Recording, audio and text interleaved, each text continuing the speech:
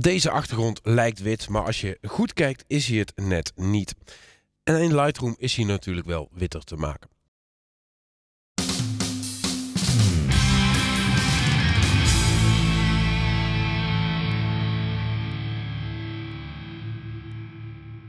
Hoe weet ik dat deze achtergrond net niet mooi wit is? Nou, als ik bijvoorbeeld ergens boven de foto ga hangen, dan zie je hier aan de rechterkant bij het histogram drie waardes tevoorschijn komen. En dat zijn de rood, groene en blauwe kanalen.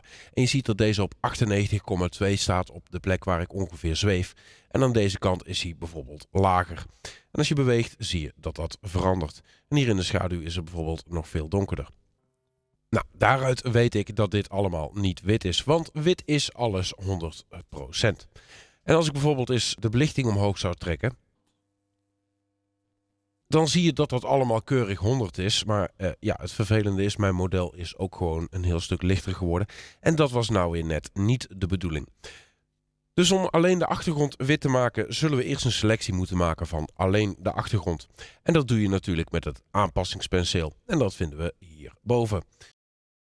Vervolgens krijg ik dit venster en moet ik een selectie gaan maken. Als ik een selectie ga maken, ga ik eens kiezen voor automatisch maskeren. En wat is het voordeel daarvan? Nou, het grote voordeel is, is dat het een klein beetje rekening houdt met wat er omheen gebeurt. En ik ga gewoon eens inzoomen. En als ik nou bijvoorbeeld ga tekenen met de kwast, dan zie je dat het rood wordt. Maar als ik bij mijn model in de buurt kom en ik schilder een beetje door, dan zie je dat ik niet op de zwarte broek verf. Dit houdt gewoon rekening met het contrast. Het kijkt van, hé, hey, we zijn bezig met wit, dus laat ik me ook maar gewoon met wit bezighouden. En het beperkt zich tot hetgene waar ik aan het schilderen ben. Natuurlijk ga ik er ver overheen. Dan kan Lightroom nergens meer naar kijken en dan gaat het wel mis ook.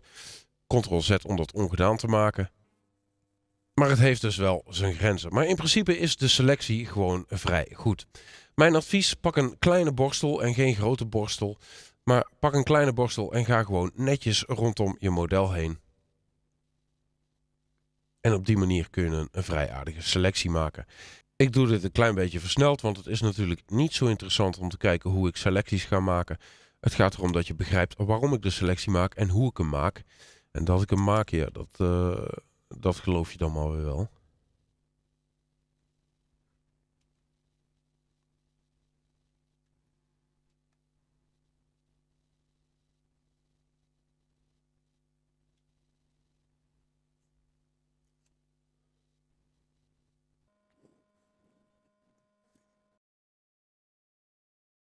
En als ik klaar ben, dan kan ik gewoon dat kleinere randje uit gaan breiden naar de complete foto. Want dat is natuurlijk wel belangrijk. Maar je snapt dat ik uh, fijner kan werken met een kleine kwast dan met een grote. En dat ik dus beter eerst een klein dun lijntje om mijn model heen kan trekken. In plaats van meteen gewoon met zo'n grote kwast aan de slag te gaan. En ja, ook dit gaat natuurlijk niet op de gewone snelheid. Want het is helemaal niet interessant om te kijken hoe ik een selectie maak.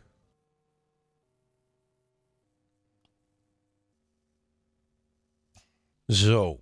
Alles wat ooit wit was in mijn achtergrond, dat is mooi rood. En dat heb ik dus inmiddels gemaskeerd. Dat is een rode maskeroverlay, die kun je hieronder aan en uitzetten. Of even op de O drukken. Uh, als hij uitstaat, ja, eh, is het jammer. Je kunt niet zien wat je hebt geselecteerd. Dus als je gaat verven, zet hem gewoon aan. En als je je effect toe gaat passen, zet je hem uit. Want nu kunnen we dus gewoon de achtergrond witter gaan maken. En zoals ik daar straks al zei, het is hier zeg maar rond waarde 97. En de bedoeling is dat we aan de rechterkant van de foto, die een tikkeltje donkerder is dan de linkerkant, dat we rechts gewoon mooi op 100 uitkomen. En ik weet, omdat links dus ietsjes lichter is, dat we daar dan ook op 100 zitten. Nou, zou ik nu aan mijn belichting trekken, dan zie je dat er in mijn model vrij weinig gebeurt. En ik ben dan rechts wel keurig 100 en links ook keurig 100. Alleen ik heb hieronder een probleem. Ik had hier oorspronkelijk een stuk schaduw in zitten. En die heb ik graag nog terug. Als ik de belichting even terugschuif, dan zie je bijvoorbeeld uh, onder de hakken of hier aan de rechterkant een klein stukje schaduw. En dat vind ik wel prettig. Dat houdt het model net een beetje op de achtergrond in plaats van dat ze helemaal in het luchtledige zweeft. Dus wat ga ik doen? Ik ga mijn schaduwen gewoon naar beneden trekken. En daarmee ga ik die uh, schaduw benadrukken. En vervolgens ga ik gewoon mijn witte tinten omhoog schuiven. En ik probeer in dit geval 60. Nou, als ik hierboven kijk, dan zie ik dat dit al 100 is. Ik zal het trouwens even passend doen. Dan zie ik dat het hierboven al allemaal 100 is. Dus 60 is zeker hoog zat. Ga ik gewoon eens kijken van, nou, wat doet 33?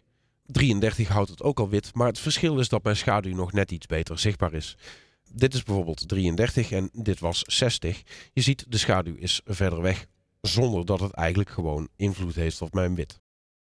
Dus in dit geval ga ik het zo houden. Rechts is het keurig 100, links is het zeker keurig 100. En mijn achtergrond is daarmee puur wit. En ik heb nog steeds schaduw behouden van waar mijn model zit. En ze zweeft dus niet helemaal in het luchtledige. En zo eenvoudig is het. Bedankt voor het kijken en tot de volgende keer. Doei doei!